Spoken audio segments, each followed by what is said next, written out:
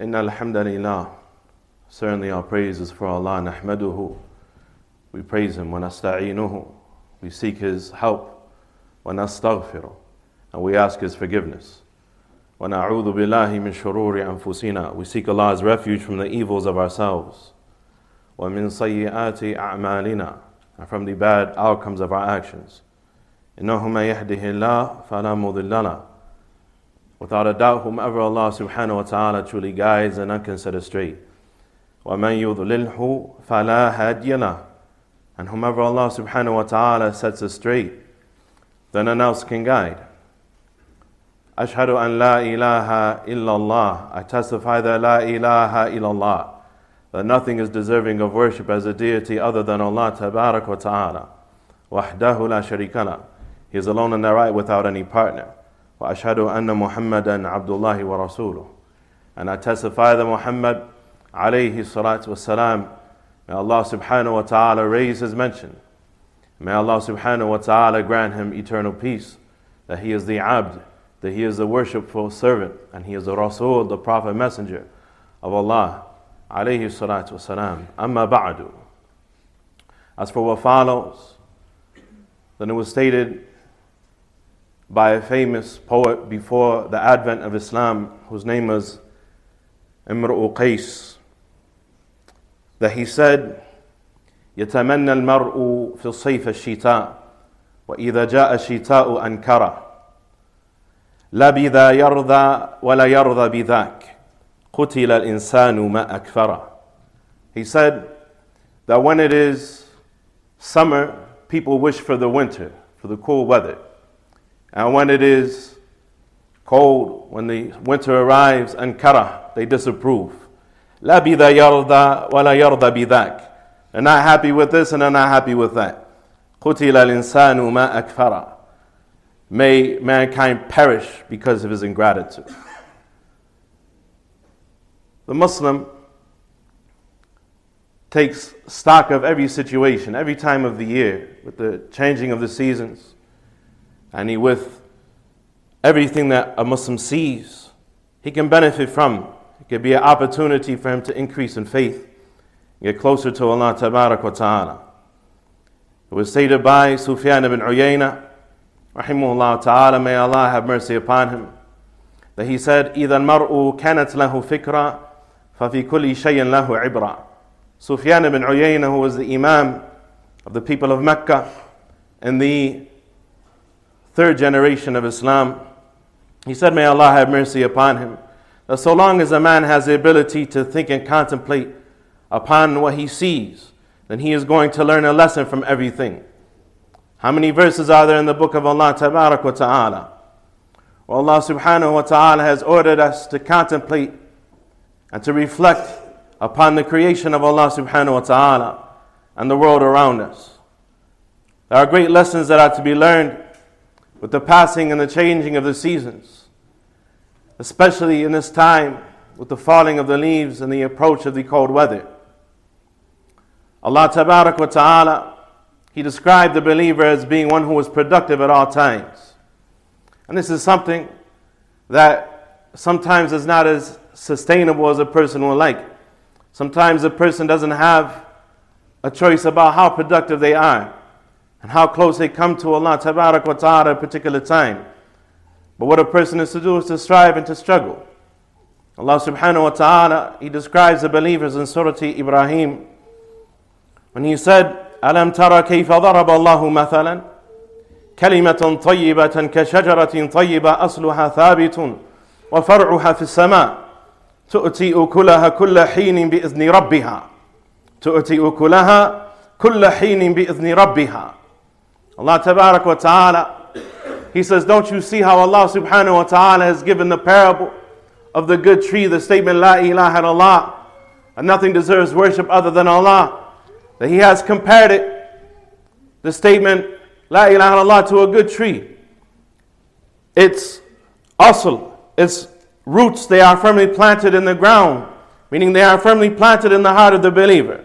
He says what He says based upon knowledge and certainty based upon conviction, based upon acceptance, based upon all the conditions that are the prerequisites of the Shahada and La ilaha illallah that make him have the least level of faith.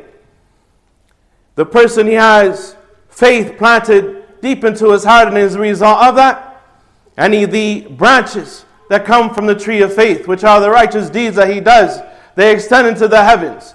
Allah says, تُؤْتِي أُكُلَهَا كُلَّ حِينٍ بِإِذْنِ رَبِّهَا And so, the tree of faith, it produces its fruits at all times. It produces its yield at all times by the permission of its Lord. Ta'ala. Meaning the believer is always fruitful. The believer is always productive. The believer is always progressing in his faith. As Ibn Qayyim rahimahullah ta'ala, he said about the statement of Allah subhanahu wa ta'ala, where Allah ta'ala mentioned his sending down the warning for mankind in his book.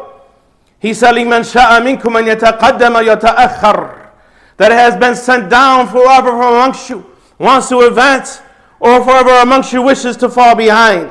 He said, فَلَيْسَ ثَمَّ إِلَّا تَقَدُّمْ أو تأخر ولا وقوف في الطريق البتة He said there is no such thing as staying still. A person is either moving forward or he is falling behind.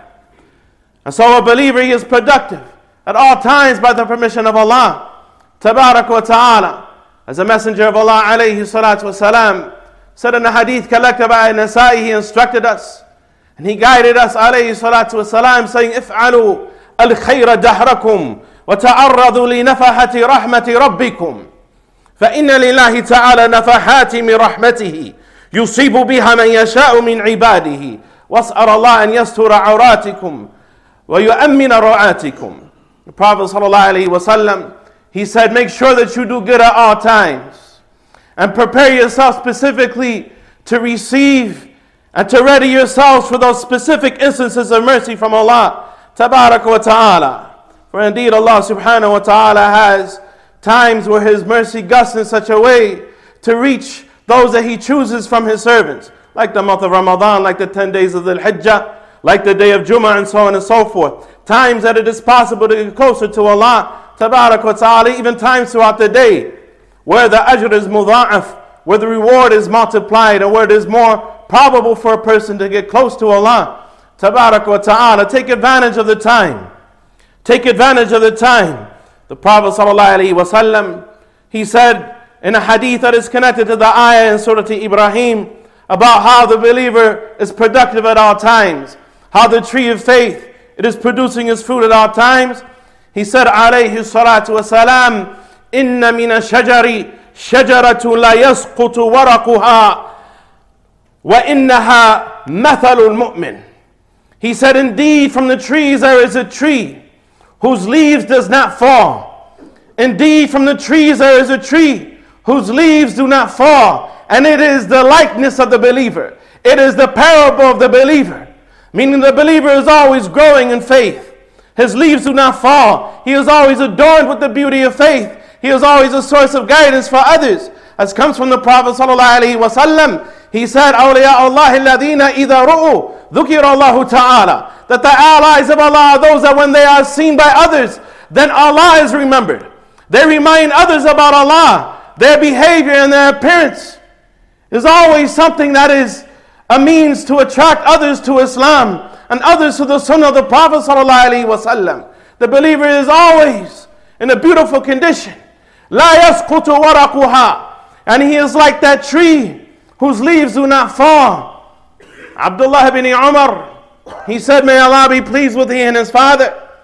He said, فَبَدَأَ النَّاسِ يَتَحَدَّثُونَ So the people from the companions of the Prophet وسلم, from the elders, they used to, they, they started to speak when he said that about the different shajar of the bawadi, the different shrubs and trees in the wilderness and in the desert.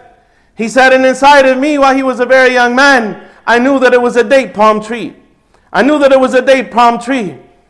Whatever the case, the Prophet ﷺ, he informed that the believer is always productive.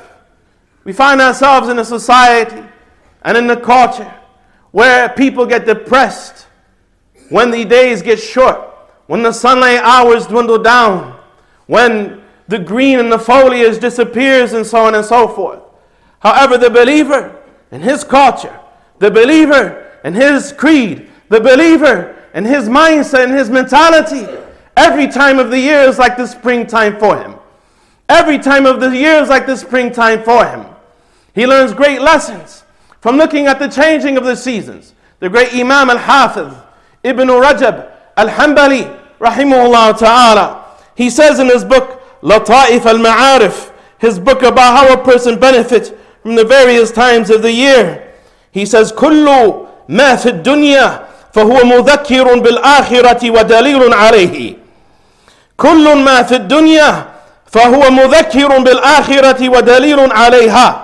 He says that everything in this world reminds a believer of the hereafter. And it is a guide and an evidence for the reality of the hereafter. وفصول السنة تذكر بالآخرة. The seasons of the year remind one of the hereafter. فشدة حر الصيف يذكر بحر جهنم وهو من سمومها. The extreme heat of the summertime reminds him of the blazing heat of the hellfire, and it is from its sumum, as comes authentically from the Prophet ﷺ, and it is actually from the scorching heat of the fire. وشدة برد الشتاء يذكر بزمهرير جهنم He said, in the extreme cold of the winter reminds him of the zamharir, of the bitter cold of the hellfire. وهو من زمهريرها and it is actually from the bitter cold of the hellfire. ويكمل فيه he said والخريف يكمل فيه استيناء الثمرات التي تبقى وتدخر في البيوت فهو منبه على اجتناء ثمرات الأعمال في الآخرة. He said in the autumn, the fall season that we are in now, is a time of the harvest where the fruits and the yield of the agriculture it is harvested and it remains in the home and it is stored in the homes of the people throughout the cold weather and throughout the growing season. فهو منبه على اجتناء ثمرات الأعمال so it should remind us when we go to the grocery store and we see the produce, we should be reminded in this season that our deeds are going to be harvested. What we have done in this life, it is going to be harvested and presented in front of Allah, tabarak wa ta'ala, and either it be sweet and soft, or either it be bitter and thorny. He said, فهو منبه على اجتماع ثمرات الأعمال في الآخرة.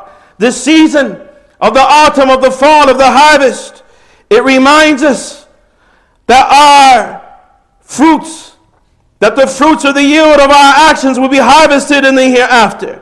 وأما الربيع فهو أطيب فصول السنة. As for the spring, then it is the most enjoyable season of the year.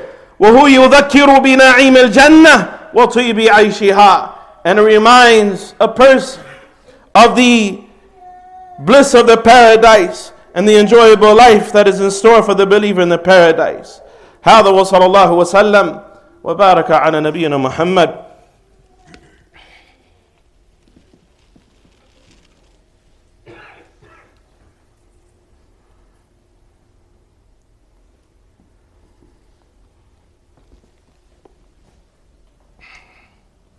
الحمد لله وحده وصلى الله وسلم وبارك على من لا نبي بعده وعلى اله وصحبه وسلم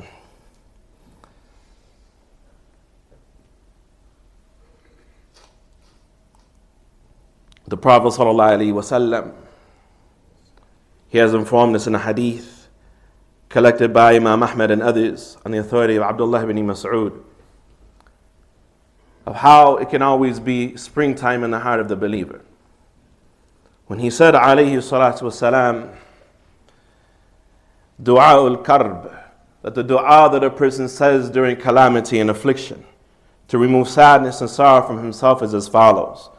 Allahumma inni abduk ibn abdik ibn amatik ناصيتي بيدك ماض في حكمك عدل في قضاؤك He said that the dua a person says for worry and grief and affliction and so on and so forth is that a person says, Oh Allah, indeed I am your abd. I am your servant, the son of your servant, the son of your female servant. Nasiyati biyadik, my forelock is in your hand, I am under your control. Our hands, or our heads rather, they are under the control of Allah tabarak wa ta'ala, in the hand of Allah tabarak wa ta'ala. ماضٍ فيها حكمك عدل فيها قضاؤك what you have preordained to happen to me is something that has already been uh, decreed and what you have judged is something that is just أسألك بكل اسم هو لك and so I ask you by every name that is yours سميت به نفسك أو أنزلته في كتابك أو علمته أحدا من خلقك أو استأثرت به في علم الغيب عندك I ask you by every name that is yours, that you have named yourself with, that you have revealed in any scripture, that you have sent down, that you have taught to any creature of yours, or that you have kept in the knowledge of the unseen with you, and have not divulged to your creation. I ask you by all of your beautiful names, as many as there are, in all of your beautiful names and attributes, I ask you, O Allah, and taj'al al-Qur'an al-Azim rabi'a qalbi wa nur sadri وجلاء حزني وذهاب همي وغمي إلا أذهب الله همه وحزنه وأذهبه مكانه فرحا The Prophet ﷺ, he says, he says this, and he says, I ask you by all these names to make the tremendous Quran the springtime of my heart. Rabi' Shaykh al-Islam Ibn Taymi rahimahullah ta'ala, he says, Rabi' huna al-matar al-munbit lil-Rabi' He said what is meant by it is the rainwater that falls in the springtime that causes the vegetation to grow. To make the Quran like the rainwater that brings about spring in my heart, and to make it the light of my chest, and to make it that removes that which removes my sadness and my sorrow. No person says that except that Allah tabarak wa ta'ala remove his sadness and his sorrow and replace it with happiness. It was reported from Ubay ibn Ka'b authentically that he said as a tremendous advice to the people of Sunnah about the importance of benefiting from the book of Allah wa ta'ala. He said, alaykum bis sabili was sunnah. He says it is upon you to abide by the sabil, the way of the believers, the path of the believers was sunnah and the way of the Prophet sallallahu alaihi wasallam. فإنه ما على الأرض من عبد على السبيل والسنة ذكر الله ففاضت عيناه من خشية الله فيعذبه الله أبدا He says, For certainly there is no person on the earth who is upon the way of the believers, meaning the manhaj of the Salaf, and upon the sunnah of the Prophet sallallahu alaihi wasallam who remembers Allah subhanahu wa ta'ala. And as a result of that, his eyes well up with tears Out of fearfulness of Allah wa ta'ala.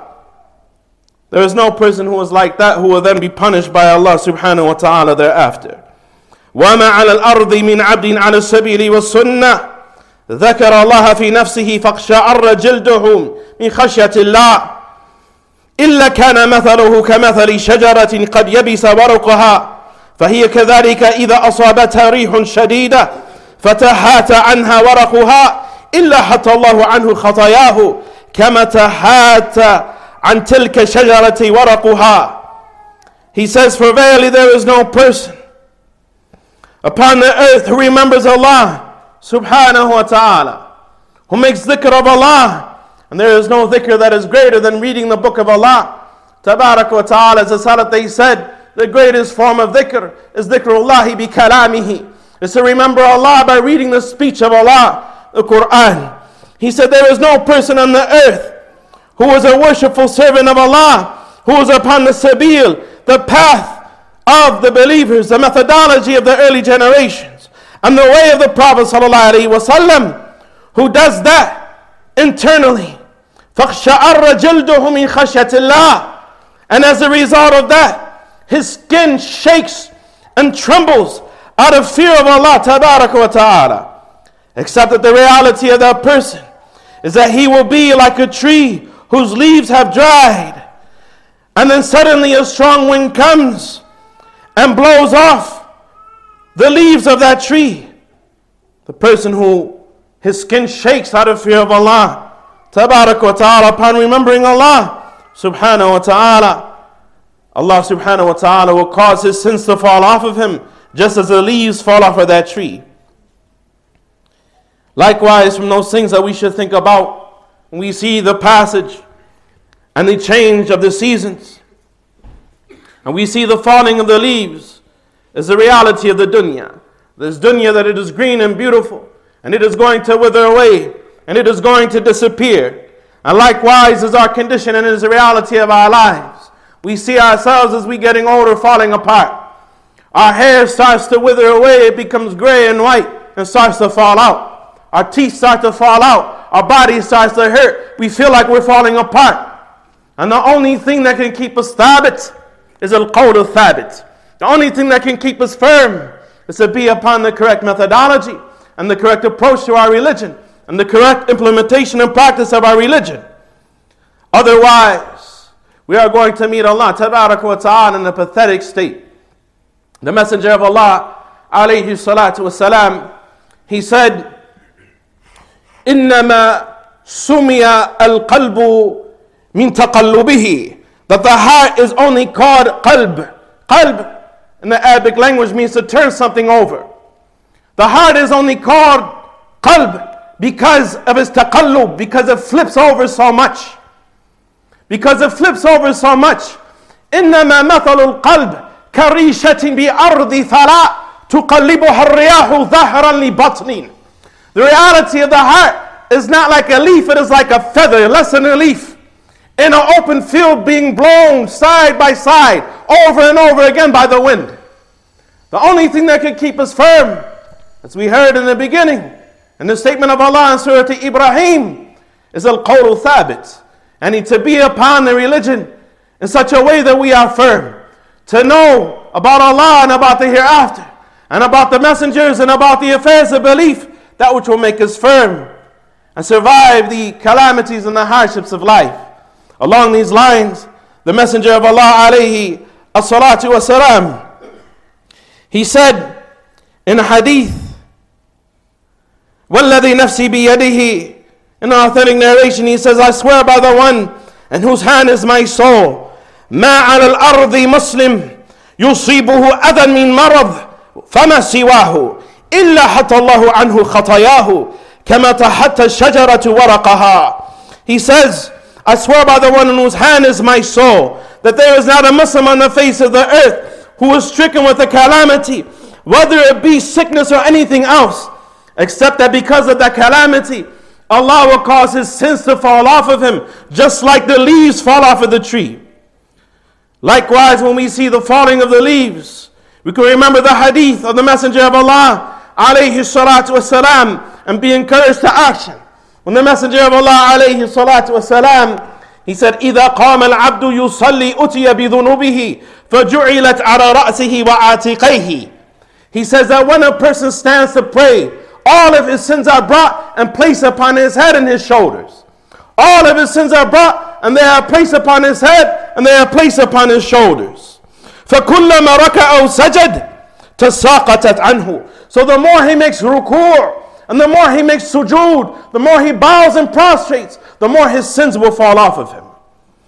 Likewise, along those lines as was collected by At-Tirmidhi authentically from Anas ibn Malik, that the Messenger of Allah alayhi salatu wasalam, he said, after passing by a tree أنه صلى الله عليه وسلم مر بشجرة يابسة الورق فضرب فضربها بعصاه The Prophet صلى الله عليه وسلم on occasion he passed by a tree whose leaves had withered and become dried and he struck it with his staff and the Prophet صلى الله عليه وسلم فتناثر الورق upon seeing the leaves fall off of the tree he says إن الحمد لله وسبحان الله ولا إله إلا الله والله أكبر لتساقط من ذنوب العبد كما يتساقط ورق هذه الشجرة that the statement الحمد لله سبحان الله لا إله إلا الله Allahu Akbar causes sins to fall off of people just like the leaves fall off of the trees.